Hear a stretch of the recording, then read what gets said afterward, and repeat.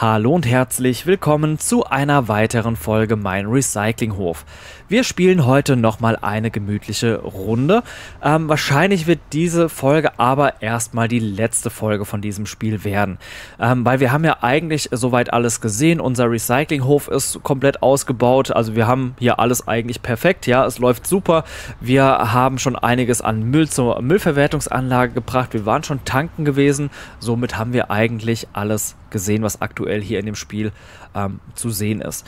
Genau. Und ähm, ja, ich weiß halt leider auch nicht, ob nochmal Content-Updates rauskommen. Ich weiß auch nicht, ob noch weitere DLCs rauskommen. Ich weiß nicht, ob allgemein nochmal Updates für das Spiel rauskommen.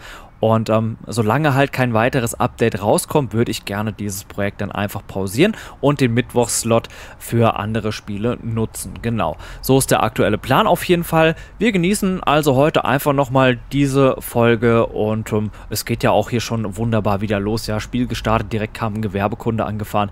Also genießen wir einfach nochmal die Zeit, entsorgen noch ein bisschen Müll, fahren noch mal ein bisschen was zur Müllverwertungsanlage und dann, wie gesagt, erstmal ähm, Pause bei diesem Projekt. Okay, dann würde ich sagen, haben wir, glaube ich, alles besprochen, was ich am Anfang ansprechen wollte und somit können wir hier loslegen. Gewerbekunde hier, so wie es aussieht auf den ersten Blick, würde ich sagen, ist das alles Sperrmüll. Also schmeißen wir das alles einfach mal hier in die Presse rein. Und wenn es gut läuft, können wir ja dann vielleicht noch hier die Presse nochmal entleeren fahren.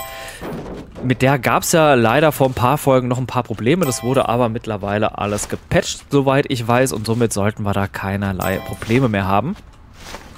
Sollten hier noch größere Sperrmüllsachen dabei sein, haben wir ja hinten, glaube ich, auch mittlerweile eine Walzenpresse stehen oder beziehungsweise so ein, genau hier so eine Walze stehen. Da können wir Sperrmüll mit klein machen. Und wir hatten ja hier hinten auch nochmal so eine Walze hingebaut, genau für Altholz. Muss ich gerade erstmal noch, noch nachschauen. Ist ja schon wieder eine Woche her, wo die letzte Folge kam. Ähm, da kann man auch mal die eine oder andere Sache ein bisschen vergessen.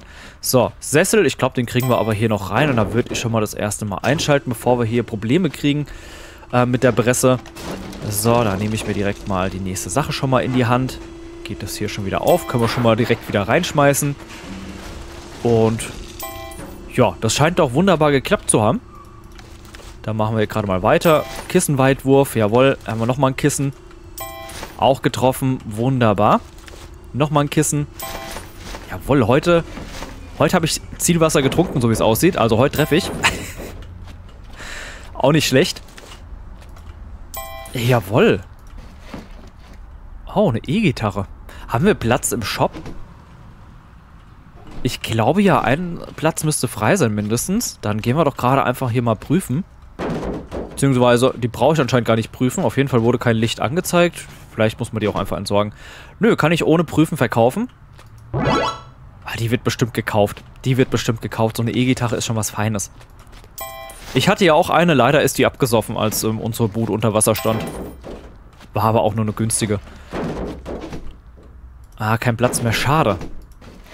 Schade, würde ich mir jetzt gerne einfach aufheben und irgendwann später verkaufen, aber geht halt leider nicht. Ja, wie gesagt, meine hat schwimmen gelernt. die E-Gitarre und der Verstärker haben beide schwimmen gelernt. Oh. Wäre das hier jetzt beinahe zum Altpapier reingeflogen, hatte aber beim Sperrmüll schon gezielt, also wäre nicht so schlimm gewesen.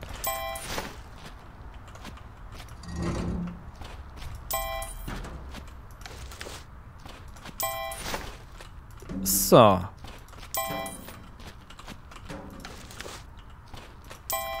Gut, das ist jetzt mehr so Kleinkrams, dass wir da alles reinschmeißen. Da brauchen wir jetzt nicht unbedingt direkt wieder lospressen. Der Wurf war nix. So. Hier so ein Tisch nochmal, den hatten wir eben gerade auch schon mal. Hier haben wir noch so einen Plastiktisch. Ich glaube, die kennt irgendwie auch jeder, diese runden Plastiktische. So, nochmal eine Tasche. So, aber gleich müsste man vielleicht nochmal die Presse anschmeißen. Bevor das dann doch wieder zum Problem hier wird. Weil es ja erstmal hochfahren muss und dann erst die andere Presse beginnt. Genau. Aber das klingt ordentlich, wenn die hier klein, klein macht. Das klingt wirklich, als würde da sehr, sehr, sehr viel zerbrechen. Nicht so wie bei der anderen Presse. Der wir leider in der letzten Folge, glaube ich, war es, ein bisschen Probleme hatten, weil die ein bisschen voll war. Obwohl sie eigentlich noch gar nicht voll war. Oh, eine Dartscheibe. Auch schon wieder drei Tage nicht gespielt. Eieiei.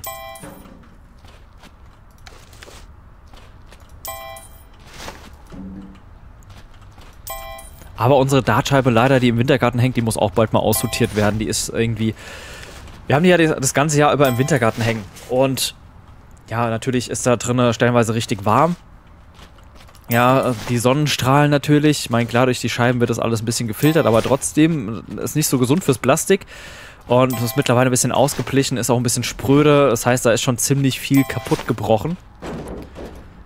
Dass die Pfeile halt nicht mehr so hundertprozentig halten und dann fallen die Pfeile runter, ja, und dann gehen die Pfeile kaputt und so weiter und so fort. Das ist ein bisschen ärgerlich. Deswegen wird es da bald auch mal Zeit für eine neue Dartscheibe. Aber es war halt auch nur so eine ganz günstige. Ist auch nicht so extrem schade drum, aber natürlich wäre es schöner, wenn die auch ein bisschen länger halten würde. Aber ähm, kann man der Dartscheibe nicht vorwerfen, dass sie nicht ähm, gut gehalten hat, weil wenn die ein, zwei Jahre halt im Wintergarten hängt, das sind extreme Bedingungen. Ja, die, die hält nicht jeder aus, außer eine Katze. Ja, unsere Katze liegt jetzt schon wieder, heute scheint mal ausnahmsweise die Sonne. Wir haben heute Aufnahmetag, ist der 4.6. Und es scheint ausnahmsweise mal die Sonne nach den ganzen grauen Tagen und nach dem vielen Regen. Und natürlich die Katze direkt wieder im Wintergarten gelegt, ja, und liegt da jetzt schon wieder seit drei, vier, fünf Stunden einfach in der Sonne, beziehungsweise legt sich ab und zu mal in Schatten, aber die schmort da einfach im Warmen, die genießt es richtig. Weiß nicht, was mit der los ist. aber Katzen haben ja allgemeine höhere Körper Körpertemperatur, die mögen es einfach auch ein bisschen wärmer und unsere Katze, die liebt es komplett warm. Also das ist komplett bekloppt. Also wenn ich da so eine halbe Stunde im Wintergarten bin, dann kriege ich Kopfweh und will da wieder raus und die Katze einfach so, ja, nö, ich liege jetzt hier erstmal für vier, fünf Stunden. Naja, Katze halt.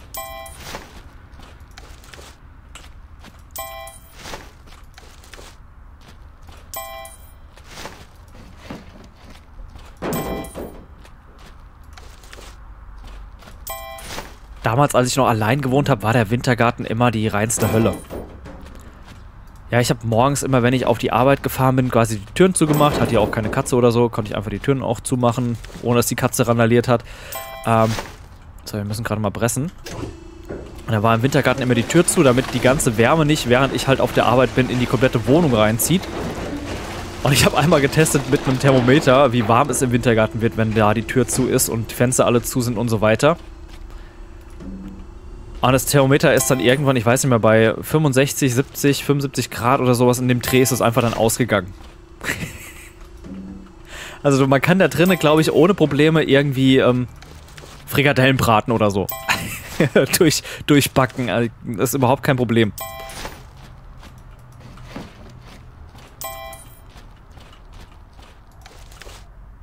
Also wenn die Türen zu sind die Fenster zu sind, das ist schon echt heftig. Wir haben zwar auch eine Markise dran, aber das ist zu gefährlich. Die ist halt außerhalb vom Wintergarten. Das heißt, die ist ähm, wetteranfällig. Wir haben zwar auch ein Windmesser quasi da, der automatisch dann die Markise zurückfährt, wenn es zu windig ist. Wir einen Regensensor, der erkennt, wenn es regnet, dass die Markise auch einfährt und so weiter und so fort. Das Problem ist halt nur, dass diese, dieser Sensor halt nur alle 15 Minuten ungefähr mal abfragt, ob die Sonne scheint. Der fragt nur alle 15 Minuten mal ab, ob es windig ist gerade. Ähm, ob es regnet, wird nur alle 15 Minuten ungefähr mal so abgescannt. Also so vom Zeitgefühl her 10, 15 Minuten ungefähr tut er nur immer prüfen, wie jetzt gerade wirklich das Wetter ist. Und das ist natürlich immer schlecht, wenn gerade mal so eine Windböe kommt, kann es schon sein, dass dir die Markise zerreißt. Ja, dass da schon irgendwelche Schäden auftreten. Oder wenn es regnet, ähm, die Markise komplett durchgeweicht ist und dann ähm, einfährt, kann sein, dass die irgendwie anfängt zu gammeln. Ja, oder, oder, oder. Ja, und es ist ja nicht gerade günstig, dann sowas reparieren zu lassen. So, mit der Presse, das klappt alles. Ich hoffe, es ist nichts runtergefallen. Also können wir hier die Kundin abfertigen. Sehr schön. Ja, oder wenn man gerade an Unwetter denkt, oha, da haben wir einiges zusammengemüllt. Ich bin jetzt mal gespannt, ob der nächste Gewerbekunde kommt, weil wir hatten ja in der letzten Folge schon nur noch Gewerbekunden. Ich bin mal gespannt, wie es jetzt hier weitergeht. Ähm, genau, man kennt es ja so auch von Unwettern oder so, wenn die aufziehen, dann hast du meistens erstmal ein bisschen windstill, dann zieht vielleicht mal so langsam ein laues Lüftchen auf, manchmal auch nicht. Und dann ist einfach so schlagartig eine Windfront da. Und wenn man da halt nicht zu Hause ist und dieser Windsensor dann zu spät reagiert, dann hat es halt ja schon die Markise wieder zerrissen. Ist nicht so optimal, dieses System, was da ist. Naja. Deswegen war das da auch nicht möglich, das irgendwie zu aktivieren, wenn ich auf die Arbeit fahre. Und da musste ich das auch immer auslassen, die Markise. Die musste halt immer dann eingefahren bleiben. Okay, es kommt ausnahmsweise mal kein Gewerbekunde. Und dann war halt immer eine Mordshitze da drin. Wie gesagt, bei 65 bis 75 Grad irgend sowas in dem Dreh ist dann das war Elektrogerät, okay. Ähm, ist das Thermometer ausgegangen. Also da ist schon wirklich eine Affenhitze drin. Ja, ich meine jetzt, wo ich zu Hause bin und hier halt, ähm... Ah, jetzt habe ich die Lampe im Gedanken da reingeschmissen. Naja, egal. Sperrmüll. Passt schon. Genau, Tasche müsste aber Sperrmüll sein. Ja, da ist meistens die Wintergartentür auf. Ja, wenn ich zu Hause bin oder ein Fenster ist offen und so weiter und so fort, dann ist das im Winter, äh, im Winter, im Sommer nicht ganz so schlimm. Es ist zwar trotzdem eine Mordsitze da drinne, aber ich denke mal, da sind so 30, 35 Grad drin oder so, wenn man alles offen hat. Da fühlt sich die Katze noch einigermaßen wohl. So, Pappschachtel. Sollte mich vielleicht auch mal aufs Spiel wieder so ein bisschen konzentrieren. Hier haben wir eine Hose. Die kommt da hinten rein. Vielleicht aber nicht werfen, sondern einfach vielleicht hier. Ups, jetzt habe ich die falsche Taste gedrückt. Ja, ich habe davor wieder andere Spiele gespielt und deswegen bin ich mit den Tasten jetzt wieder gerade ein bisschen durcheinander. Ah, jetzt lasse ich mir... Ich will als mit E jetzt die Sachen aufnehmen. Jetzt ist es... Jetzt ist vorbei.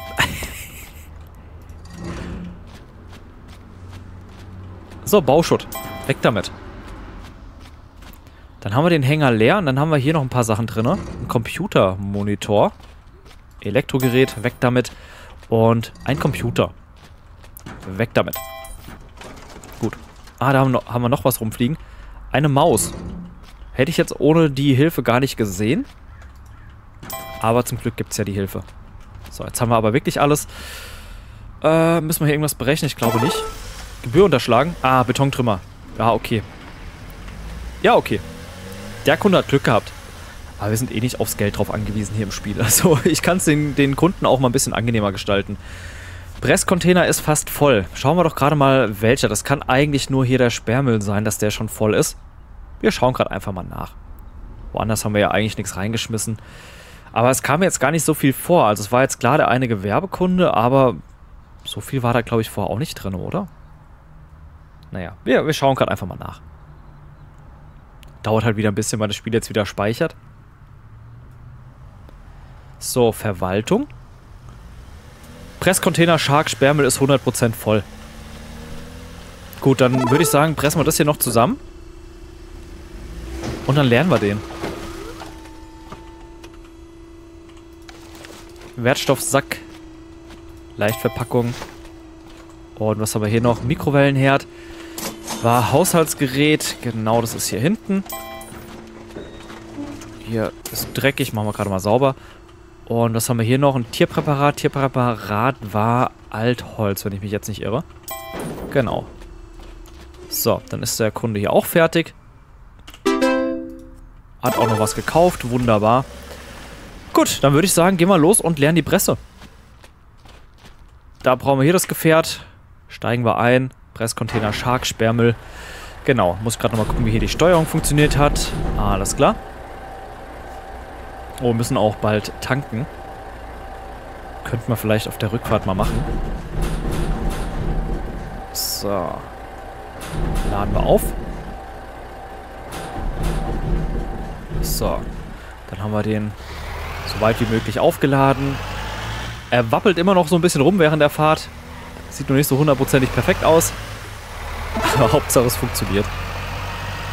Er wappelt ein bisschen arg durch die Gegend. Da gehen wir jetzt schon tanken. Komm, wir gehen jetzt schon tanken. Wir gehen jetzt schon tanken.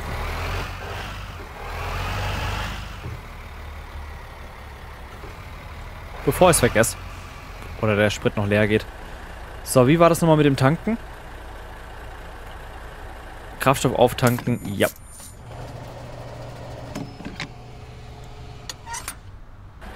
So, weiter geht's.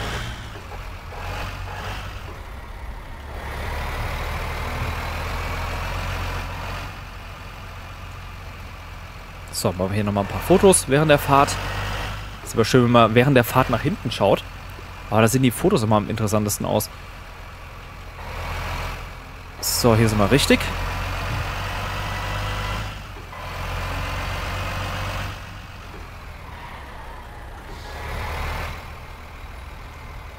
Und mal schauen, wie viel Gewicht wir jetzt hier haben.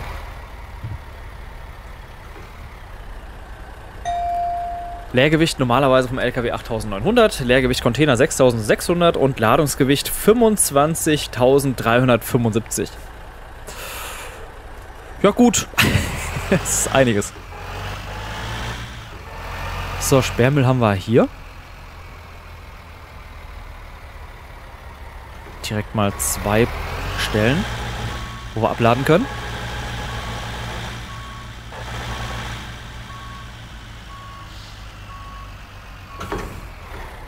Jawohl, fällt direkt. Ähm, ja gut. Wir sind gerade, weil ich hinten dran gestoßen bin, wieder ein Stück nach vorne gerollt. Und es hat schon gezählt. Jetzt hängen da die ganzen Produkte. Normal hätten wir jetzt ganz schön sehen können, wie die Produkte runterrutschen. Oder die ganzen Müllsachen runterrutschen, hier die Rampe. Ah, das ist ärgerlich. Ja, ich bin da hinten dran ge geknallt. Wollte gerade noch mal ein bisschen Gas geben, damit ich abbremse. Beziehungsweise wollte so ein bisschen abbremsen dann, ja, sind wir ein Stück nach vorne gefahren, entladen beendet und jetzt schwebt da alles rum. Och, schade, jetzt wollte ich hier gerade mal sehen, wie da alles runterpurzelt. Ah, ich habe aber auch ein Glück bei Spielen, das ist echt nicht mehr normal. Wie, der, wie die Presse da hin und her wappelt, das sieht auch echt noch nicht schön aus. Bei den anderen Container, da geht das. Da wackelt nichts hin und her, aber bei der Presse hier gibt es immer noch Probleme anscheinend.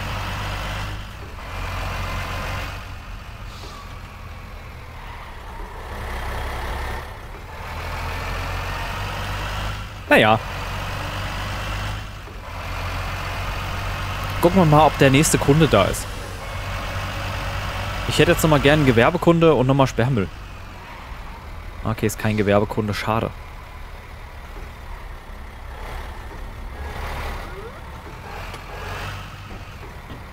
Ähm.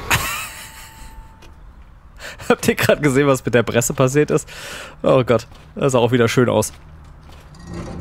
Was haben wir denn hier Schönes? Einen Herd. Wir prüfen den mal. Kling, kling, kling, kling. Stellen wir den gerade gleich hin.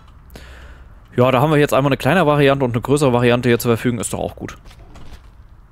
So, Tisch. Rein damit. Rein damit. Das wäre auch wieder Altholz. Könnte man auch Sperrmüll normalerweise reinschmeißen. Vollkommen egal. Äh, Plastikbehälter ist hier Leichtverpackung. Und ja, mal nochmal ein Wertstoffsack ist auch Leichtverpackung. Nochmal Leichtverpackung. Hohlbaustein, das heißt, wir müssen auf jeden Fall auch Gebühren berechnen. Der hat nicht gezählt. Jetzt hat er gezählt. Nochmal hier einen Tisch. Den schmeißen wir jetzt gerade mal da rein. Dann hat er nichts mehr dabei. Dann Gebühren berechnen und abfertigen. Perfekt. Nächster Kunde bitte.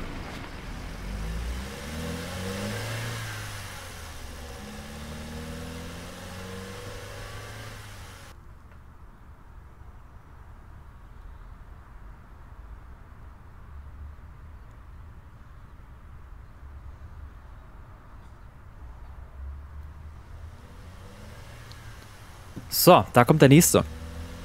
Hänger mit dabei, sehr schön. Ich glaube, ich sehe da ein paar Plastikfässer. Das wäre wieder was für den Sperrmüll, oder? Ja, sieht auf den ersten Blick so aus. Jawohl.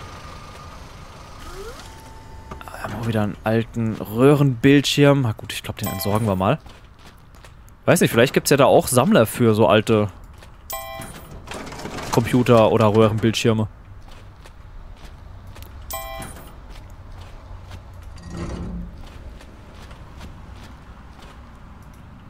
Weg mit dem Drucker. Drucker sind ja sowieso, ich sag's ja immer wieder, Drucker kommen direkt, glaube ich, aus der Hölle. Drucker kommen direkt aus der Hölle. Geil, dass es Drucker gibt, aber die sind ja stellenweise so schwierig.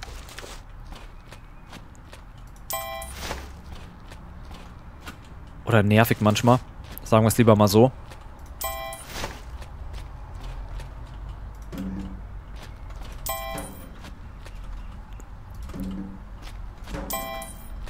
Aber an sich, äh, Drucker schon eine krasse Technik eigentlich, aber es ist halt wirklich stellenweise ein bisschen nervig. Ich finde auch Farbpatronen für so einen Drucker, wo 8 Milliliter drin sind, wo du einfach mal 50 Euro für da lassen musst, ist einfach auch eine harte Hausnummer, eine harte Nummer, muss man einfach mal sagen.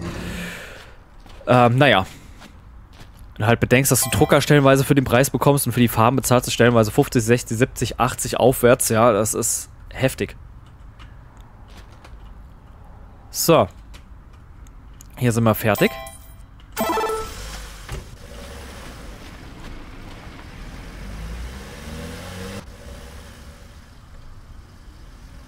Ja, früher konntest du ja auch öfters mal so günstigere Farbpatronen kaufen. Ja, das hat dann noch funktioniert. Da war noch kein Chip irgendwie auf den Patronen drauf. Da war das kein Problem. Und dann irgendwann ging das los. Also ich rede jetzt von ganz früher, da war kein Chip da irgendwie dran, der geprüft hat, ob das irgendwie originale Farbpatronen sind oder nicht. Irgendwann ging das dann los, dass die einen Chip drauf hatten. Dann wurde immer geprüft, ist das original, ist das nicht original. Ja, und dann konntest du irgendwann diese nicht-originalen nicht mehr wirklich verwenden oder beziehungsweise mussten dann diese nicht-originalen Farbpatronenhersteller irgendwie sich Lizenzen erwerben. Wenn du da jetzt Lizen beziehungsweise einige von gekauft hattest, weil die so günstig waren, hattest die auf Vorrat. Und dann wurde plötzlich da irgendwie ähm, das nicht mehr erlaubt, dass die Patronen benutzt werden dürfen. Dann gab es ein Update für den Drucker und zack, bumm, hat er die nicht mehr verwendet, die Patronen und so weiter und so fort. Ähm, war stellenweise mal wirklich sehr, sehr ärgerlich. Okay, die Tasche war anscheinend zu klein, das war dann also Hausmüll. Ja, manchmal ist es Sperrmüll, manchmal Hausmüll, kommt immer auf die Größe drauf an. Boah, Kickertisch. Habe ich Platz? Ah, ich habe leider keinen Platz für den Kickertisch. Den würde ich aber so gerne eigentlich loswerden. Naja, gut. Kommt er halt auf den Müll.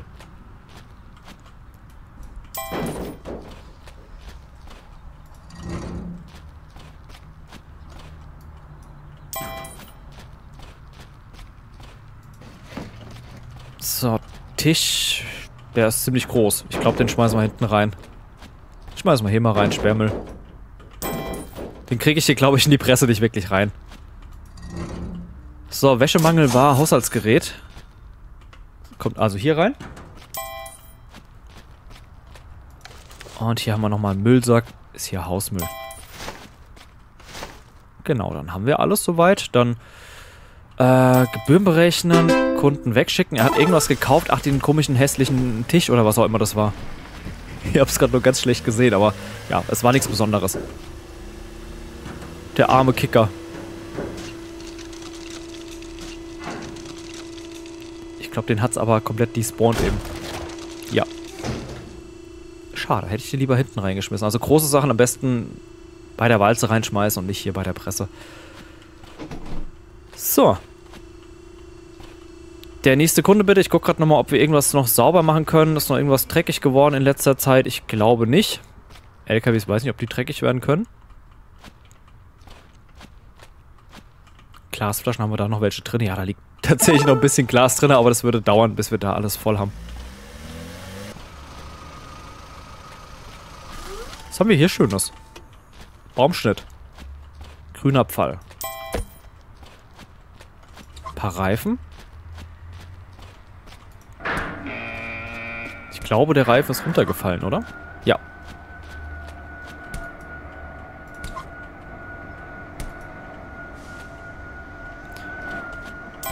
Oh. Ist auch gut voll. Gut, müssen wir vielleicht mal gucken, dass wir das Zeug hier mal ein bisschen verteilen, mal ein bisschen hier hinten hinschmeißen, so gut wie möglich. Alles, was hier jetzt neu reinfällt. Sonst kriegen wir nicht mehr ganz so viel unter. Ups, ist ja so schon ein bisschen was daneben gefallen. Aber das hat sich anscheinend aufgelöst.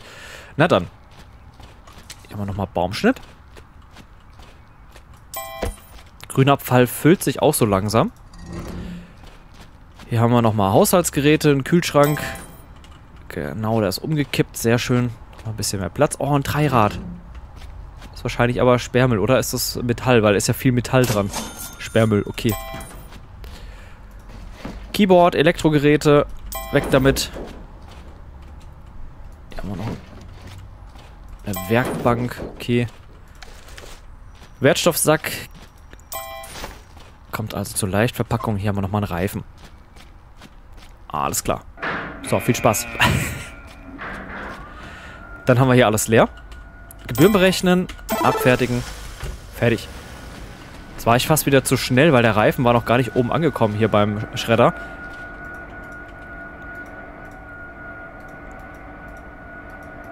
Aber hat noch irgendwie gepasst. So. Hier oben auch alles gut. Da sieht es auch gut aus. So, warten wir nochmal auf den nächsten Kunden. Würde sagen, so ein, zwei Kunden machen wir noch.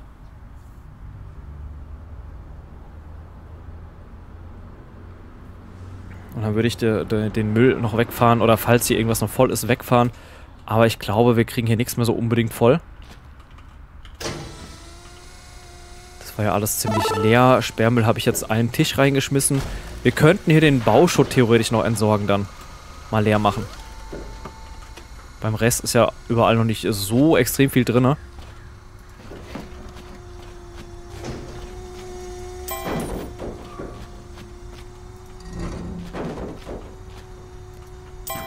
Finde es ein bisschen schade, dass es so extrem wenig Biomüll gibt. Ja, da haben wir jetzt extra eine kleine Presse für uns, aber wirklich nutzen? Nö. Das ist schon krass, wenn wir mal einen Kaffeefilter irgendwie reinbekommen.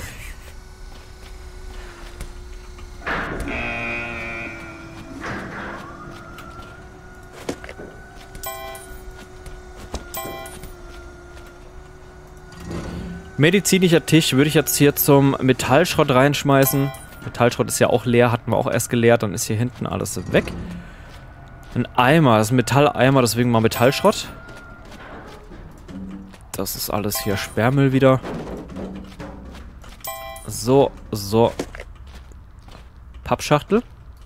Sah gerade kurz aus, irgendwie wie so ein Metallkanister oder sowas in der Art, aber nee. War Pappe. Tischlampe ist Elektrogerät. Flachbildschirm. Ja, ist eindeutig kaputt, brauche ich nicht mehr prüfen, kann man direkt entsorgen. Dann haben wir hier noch zwei Sachen drin, einen Gitarrenverstärker, wahrscheinlich auch Elektrogeräte, genau. Und hier haben wir noch einen Tisch. So, dann müsste der Kunde auch fertig sein, beziehungsweise müsste hier alles ausgeleert sein. Berechnen wir Gebühren. Er hat noch irgendwas mitgenommen, keine Ahnung was, aber wir haben auf jeden Fall ein bisschen Geld verdient, auch wenn wir es nicht unbedingt mehr bräuchten. So, warten wir noch auf, ein, die, auf den nächsten Kunden. Haben wir, ups, gerade aus den rausgetappt. Warten wir auf den nächsten Kunden, wenn hier zusammengepresst wird. Jo, schön. Aber mit der Presse, die, die arbeitet eigentlich ganz gut. Die ist nur beim Abtransport immer ein bisschen schwierig. Weil die so hin und her wappelt. Oder abhebt. Als wir reingefahren sind, ist die ja schön abgehoben, die Presse hinten auf dem LKW.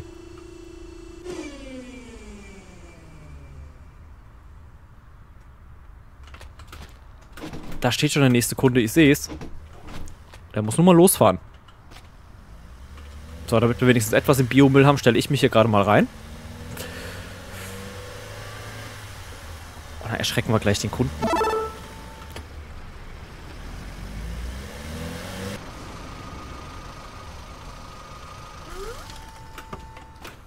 Buh. oh Mann. Ach ja. So, man muss ja die Wartezeit irgendwie rumkriegen. So, Sondermüll. Hat noch gezählt. Sehr schön. Haben wir auf jeden Fall ein paar Farbreste auch noch, beziehungsweise einmal mit Farbresten drin. Metallschrott haben wir hier. Dann haben wir hier nochmal Metallschrott, nochmal einen Heizkörper. Nochmal einen. Und hier haben wir nochmal einmal mit Farbresten. Dauert immer ein bisschen, bis das da hinten zählt, aber zum Glück CS. Wir gucken gerade mal, ob der Flachbildschirm hier noch funktioniert. Wir haben ja Sachen verkauft. Würde noch funktionieren. Würde noch funktionieren. Ups, soll ich natürlich auch dann hier positionieren. Habe ich so mitgetan. Und dann äh, hatten wir da jetzt noch Platz oder nicht? Komm, wir prüfen mal den Computer. Falls Platz ist, schmeißen, schmeißen wir den auch noch mit hin. Ich glaube, wir müssten noch einen Platz haben. Genau. So, jetzt haben wir aber alles wieder voll. Und noch ein weiterer Eimer.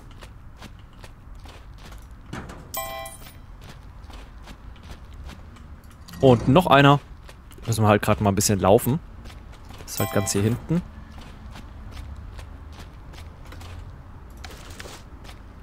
Müllsack, Müllsack, Müllsack. Ups, jetzt habe ich aus den Heizkörper erwischt. Also ich würde dann noch gerne den Bauschutt wegfahren. Das würde ich auf jeden Fall noch gerne machen. Ähm, das ist kein Grünabfall. Das ist hier Metallschrott.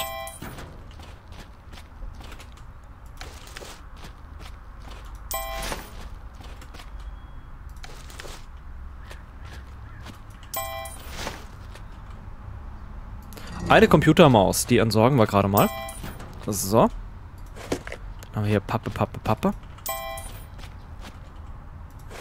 muss sagen, ich bin nicht so der große Fan von diesen Wegen. Also wir hätten ja hier diesen Wagen, da könnten wir einiges reinschmeißen. Wir haben eine Schubkarre, könnten wir einiges reinschmeißen und durch die Gegend transportieren. Aber ich finde, man ist immer noch schneller, wenn man einfach hier durch die Gegend rennt. Und ich habe ja sogar die Geschwindigkeit fürs Rennen reduziert. Man ist ja normalerweise noch schneller unterwegs. Kann man einstellen, das hatte ich schon runtergeschraubt. Also man ist, wenn man hier wirklich dann durch die Gegend rennt, eigentlich ultra schnell unterwegs. Da braucht man eigentlich keinen Wagen. Bis man den Wagen beladen hat und ausgeladen hat, bis hier schon zehnmal hin und her gerannt. Finde ich so angenehmer. Aber man könnte theoretisch, wenn man langsam spielen möchte, kann man auch natürlich die Wegen nehmen. So, Glasflasche. Hier haben wir das Altglas. Ich finde, mit dem Container klappt das auch wirklich viel besser als mit dem äh, Altglas-Container. Hast du schön große Öffnung, brauchst du nicht rumkämpfen mit. Die Flaschen zerbrechen nicht beim Reinwerfen, außer man dotzt die Flasche vielleicht irgendwo hart an. Aber das passiert hier halt einfach weniger. Hä? Ah, die liegen im Anhänger drinne. Kann es sein, dass wir deswegen auch damals öfters mal das Problem hatten, dass Glasflaschen nicht gezählt haben? Wenn die äh, im Hänger drinne liegen, habe ich gerade Container gesagt, im Anhänger drinne liegen und ich die nicht sehen konnte ohne die Hilfe, dann kein Wunder, dass ich die übersehen habe. Naja, So, also Hänger ist leer. Immer noch eine Papiertüte. Eine Holzkiste, die könnte man hier einfach mal reinschmeißen. So, dann haben wir hier noch Metallschrott. Aktenordner, den können wir komplett so reinschmeißen zum Zerschreddern. Stuhl schmeißen wir auch hier zum Sperrmüll rein. Ich glaube, wir müssen gleich die Presse wieder anschmeißen. Tasche würde ich jetzt auch mal hier rein. Und hier haben wir noch einen Heizkörper. Und was haben wir hier noch schön? Das ist ein Eimer. Kann es sein, dass wir sogar noch Biomüll da drin haben? Einen Apfel. Einen verfaulten Apfel. Krass, ich glaube, wir müssen gleich mal die Presse anschmeißen. Ha, ein bisschen frustrierend mit dem Biomüll. Ich glaube, wir haben aber da noch eine Biomülltüte dabei. Das ist schon ultra krass. Dann haben wir zwei Sachen hier in der Biomüllpresse drin. Küchenabfälle. Krass. Gleich mal anschmeißen. Gut, dann haben wir hier nichts weiteres. Dann Gebühren bezahlen, abfertigen. Und dann würde ich sagen, laden wir den Bauschutt noch auf. Muss ich sonst noch irgendeine Presse anschmeißen? Ja, die schmeißen wir noch an. Hier, die schmeißen wir nochmal an. Dass das Zeug nicht verloren geht. Hier müssen wir noch sauber machen. Äh, hier müssen wir sauber machen. Schmeißen wir auch gerade an. Hausmüll schmeißen wir auch an. Jetzt wird hier gerade überall fleißig zusammengepresst. Altholz brauchen wir nicht mehr anschmeißen. Genau, Bauschutt. Interagieren nehmen wir hier, wo haben wir es? Mulde flach, Bauschutt. Nächster Kunde wäre auch da, aber... Joa. Der muss jetzt warten. Beziehungsweise, der hat Pech. So. Ist jetzt auch noch nicht so hundertprozentig voll, aber so haben wir wenigstens mal ein bisschen was weggebracht.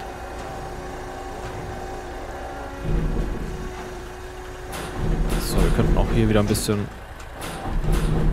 Ah ne, das ist schon das Maximale, was man mit dem Container hier nach vorne kann. Okay. Alles klar.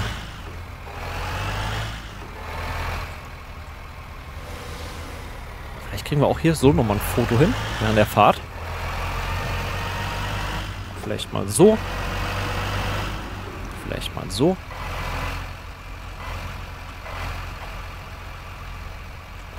Okay. Bilder sind gemacht. Bin mal gespannt, wie schwer der Bauschutt jetzt ist. Obacht. War ein bisschen knapp. So, da vorne jetzt noch die Einfahrt wieder reinfahren, wiegen lassen. Der spannende Moment.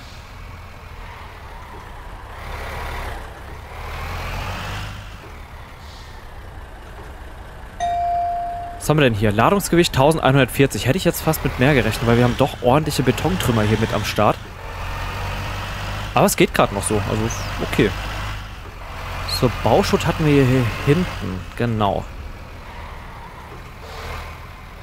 Bauschutt hatten wir hier. Zweimal.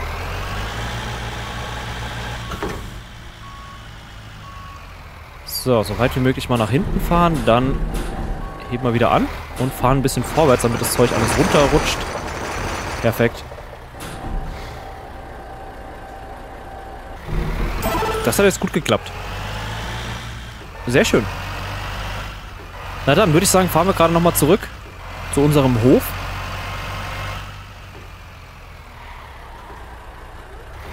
Und dann, wie gesagt, falls nochmal ein Update rauskommen sollte mit neuem Content oder mit ähm, gravierenden Fehlerbehebungen ja, oder dass, der, dass die Shark-Presse noch besser funktioniert und so weiter und so fort, ähm, dann schauen wir bei dem Spiel nochmal rein. Ansonsten erstmal Pause von dem Titel. Ähm, ja, dann gucken wir einfach mal, was wir mittwochs sonst noch so spielen.